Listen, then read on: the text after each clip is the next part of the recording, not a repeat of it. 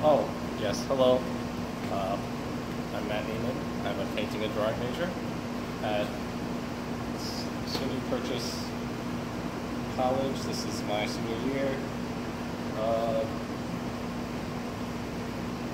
I work primarily in uh, oils and ink. Um, and I make, I go outside mostly to paint. I paint um, landscapes, on-site paintings and such. And uh, when I come in the studio, I usually do ink-based works, and they are, uh, for the most part, just like mind works, stuff from my head though.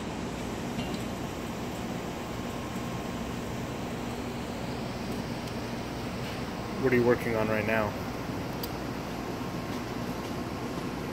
Right now, this is kind of uh, these two, this little guy and this big one here. Those are kind of my current uh, predicaments. Um, I made a little color study over here uh, for this guy, but I'm not sure if I'm gonna hold to that.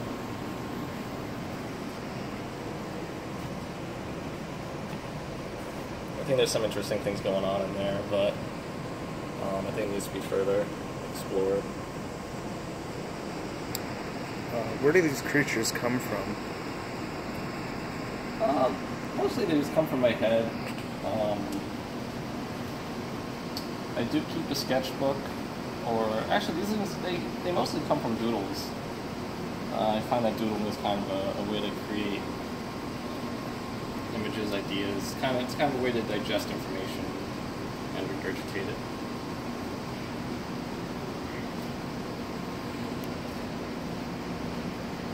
Guy over this was the um, kind of like an alternative uh, to the traditional uh, dragon concept. Um, he's not he's not meant to look scary. He's just like this big goofy uh, amphibian-like creature with with wings. Where did that idea come from?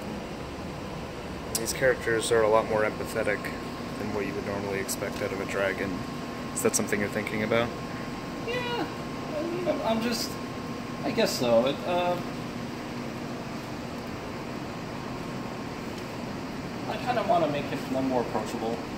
You know, there's a lot. When you think when you see dragons in fiction, they're always spiny and spiky, uh, a lot more threatening. And this guy is kind of like a big plush doll with big eyes.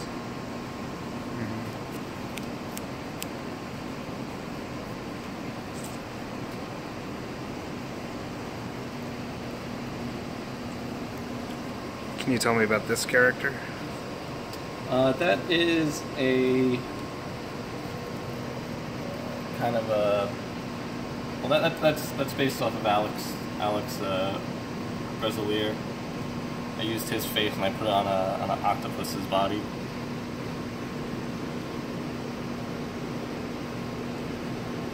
I was trying to create a creature that had kind of a spawning period. Spawning period, you said? Yeah, uh, he's kind of laying these eggs, and they're all like little uh, manifestations of him.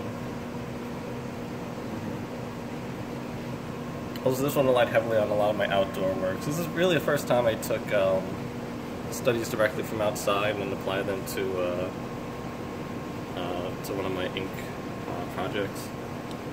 So this is new only in ink. You've done this in other mediums.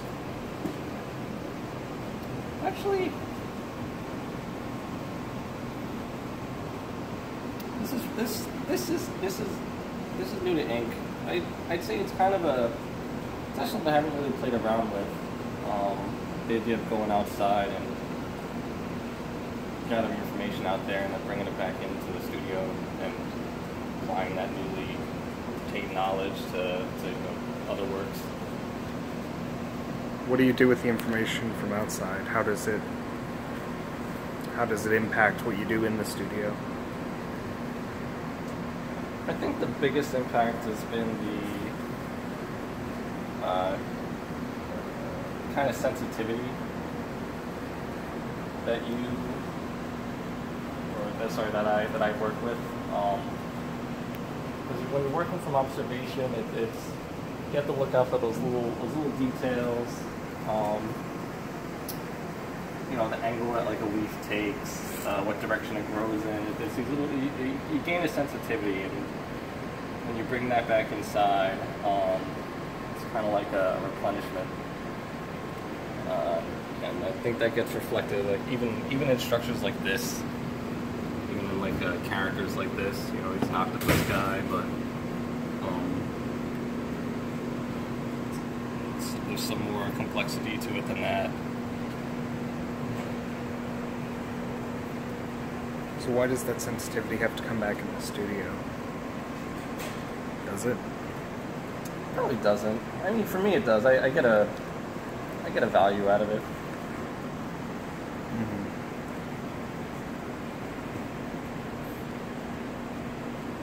I used to always be worried that my works were more hand-fisted, started going outside and drawing from nature, um, I just realized that my my lines were were getting cleaned up. There was, there was a bit more decision making behind every mark. You were better at observing Seems. Yeah, I mean, I, I think it's I think it's a it's almost like a exercising a muscle. Right. I think uh, it seems like the precision is a lot higher, but you're allowing the line to do more of the work. You're allowing the gesture to take over in a lot of spaces. Whereas in the past, from what I've seen out of your on site painting, it's been a little bit more heavily rendered. Yeah, uh, that might just come with uh, age, practice, more hours doing it, where you learn how to to get the paint to work for you, right? As opposed to fighting with it, working against it.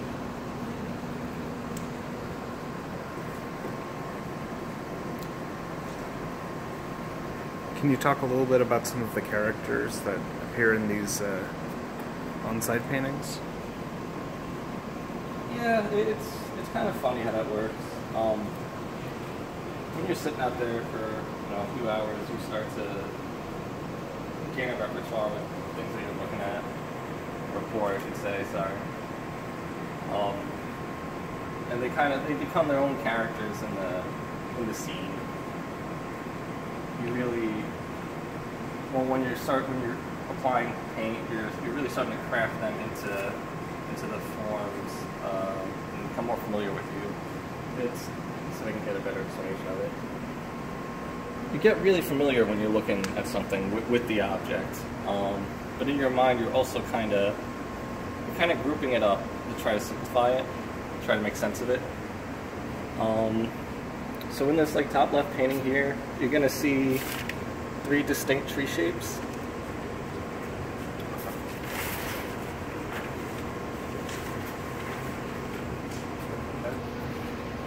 And it's almost like they're having a conversation with each other. Uh, it's almost like a, a figure, a, a group of figures when you see this this group of trees, that group of trees, and this, they seem pretty uh, separate on the canvas. Do you develop characters for these as you work? Not specific, not not like not a character like this guy. You know, you don't think of them the same way as this guy, but there's certainly like a hierarchy um, that starts to, to surface. This guy right here, this is um, this still needs more work. I'm probably gonna go outside again with this canvas, but uh, right now this tree stump um, took them back inside and added those those branches that I I remember from being out there. So I kind of think of them as a, a Danny DeVito tree stump. Why's that? Um, just just how short it is, and also like the arrangement of his hair. It's almost like Danny DeVito's haircut. Definitely has that disheveled look. Yeah. Really like this little handle. Yeah, that's a uh, that's for portability. Where do you usually go when you paint? Um, I just stick to the woods around here, around the campus. Spent a lot of time behind the, uh, the new common, the commons area. There's a hiking trail that leads between that and the alumni. Like this. Uh, let's see.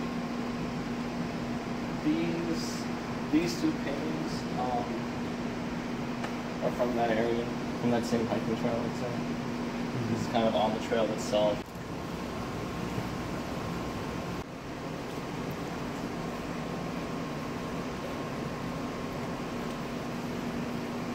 So, how do you choose a location when you're painting?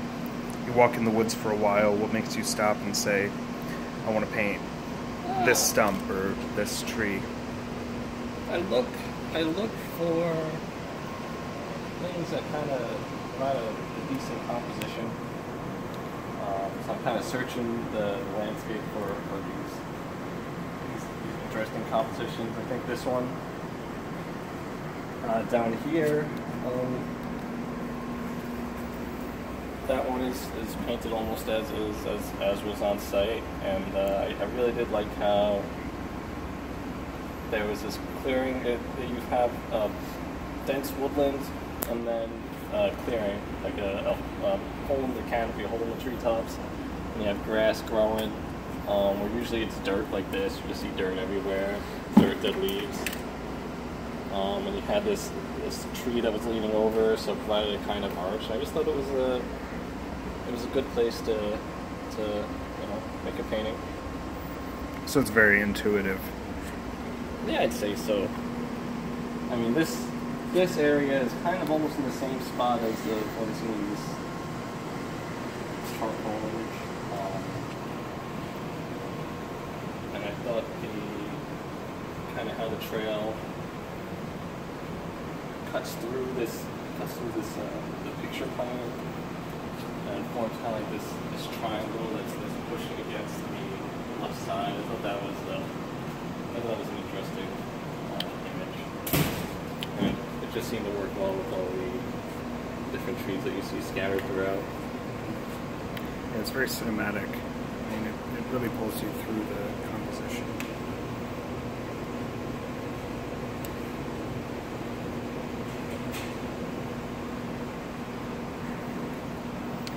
So when you go out into the woods, do you do a bunch of sketches before you start a painting? Hmm. Yeah, let me uh, let me let me dig out my studies.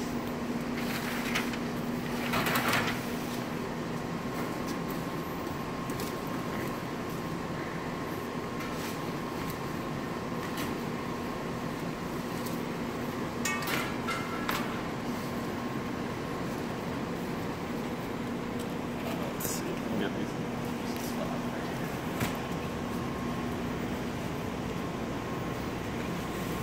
So this is probably one of the earlier ones. Um, it was me just looking at a bush and trying to figure out uh, how everything was working, where everything was growing, uh, what everything was entangled with, and it got pretty confusing. So I decided to kind of do more separate studies. So this one is uh, what is that like three, three, three grass stalks, grass or weed stalks. You kind of this is when I was trying to really focus down in on the uh, on how things grew, how a leaf projected from a stem, how uh, the size of a leaf affected how it it, it draped, where the the little um, uh, like plant plant veins, how they grew within the leaf itself.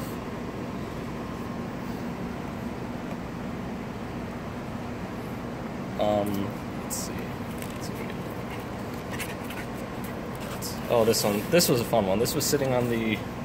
This one I did sitting on the forest floor, and I was just drawing uh, with the ink uh, the different specimens I saw. So we had these different kinds of uh, little leaves, like little cloves, um, that kind of formed the, the, the shorter specimens that you'll see, and then you had these uh, the grass that would kind of be all over the place. These uh, these long, like hair-like uh, blades of grass, and then you had these these grains which uh, which are everywhere. I mean, you, you'll see they're a lot more dense than what's seen here. But I was just trying to get different specimens. But there's a great variety of uh, plant life that you'll see out there, and just in like a few a few feet, you'll see like a dozen different plant species.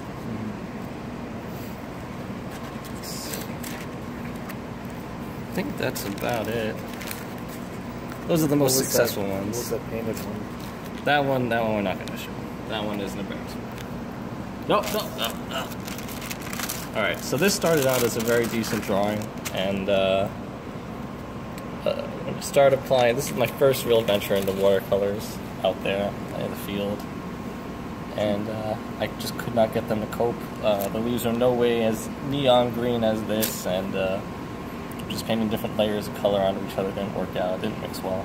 Um, so if you're gonna do watercolors, I would say get stuff that you can mix together. Don't get the dry stuff. And uh, I actually find this pretty exciting.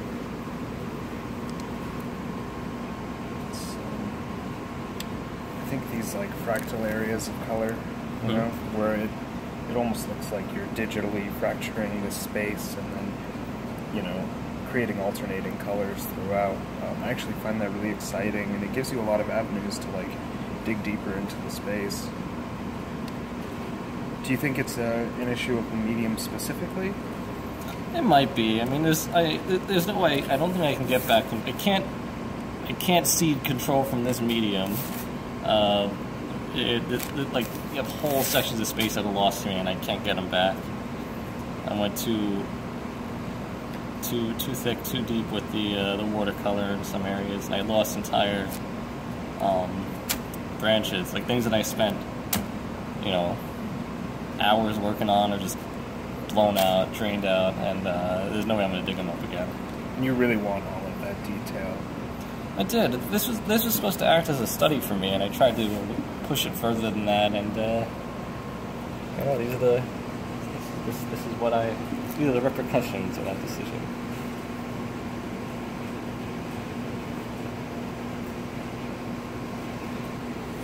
It's too bad. Tell me about this guy right here. Uh, this is my latest work. Um, kind of came about when I was uh, trying to write a paper over the weekend, and a big part of a big part of that process was me doodling on the actual uh, page, and I made about you know a dozen different drawings of trying to, I guess, how it actually looked like um, how its head would sit on its shoulders, and it was just just that whole problem solving uh, issue going on for the duration of that paper. Um, so when I was done, I was back in the studio, and uh, you know, just it just seemed like a natural progression. Go from doodling cows to making a, a drawing of cows. Um, all these cows are borrowed from Ro- Rosa Bonheur. Uh, she's a French animal painter. And I try to I try to give every cow a look. I try to make them all individualistic from one another. Um, so like this guy, it's a little bit it's a little bit meaner than the other cows. He looks like the uh, the Red Bull cow, Red Bull bull. I like to call him a cow. This is kind of the, the sassy cow. This one here. She looks annoyed. She does. Well, I mean, maybe, but she's she's the only cow that's eating on the page. The rest, the rest are confused, and then you have this this one was just chewing cud. Something really expressive about that eyebrow. Yeah. I uh when I was making the the curve for the nose, um I knew I, I didn't wanna I didn't wanna go too too real with the cow. I thought that uh kind of kind of giving it these human qualities or you know these these figure like qualities would would make it more interesting.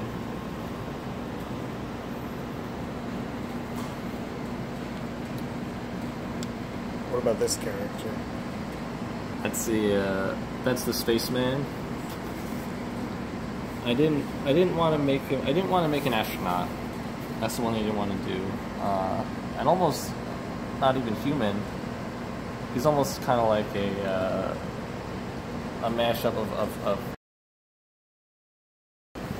um, but I wanted to make something that was that sat somewhere between a spaceman and a um, Advil, an Advil capsule.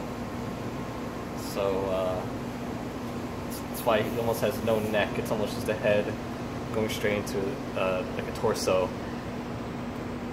Um, so he's almost he's almost unthreatening in a way. He's, he's What's next for all of these? Uh, I'm gonna continue with the landscapes. Um, I think it's good as far as developing technique goes. Um, I find it's more fun to paint outside than to paint inside. You know, inside it gets kind of claustrophobic and uh, you're out there, you're desperately trying to put paint on the canvas and make an image, while inside you're you kind of you're, you have all these distractions inside, um, and I feel that uh, that kind of environment is tough to paint in. But I want to I want to continue painting, and uh, That the drawing this is just a more natural fit for for indoors, you know. Um, I get most of my ideas at night. These are very. These, the drawings are very uh, spontaneous. They're not as. Uh, they're not as meticulous as you would think. They're kind of just coming up with on the spot. Um, where you're playing around with an idea and you're composing it on the spot you know, making adjustments here and there. And I think that's kind of the best fit uh, when, you're, when you're just drawing music lines as opposed to when you're trying to, you know, mix colors outside um, or mix uh, paint in general. So a lot of a lot of the stress gets taken away when you're when you're outside. I find the inside is kind of a very stressful environment.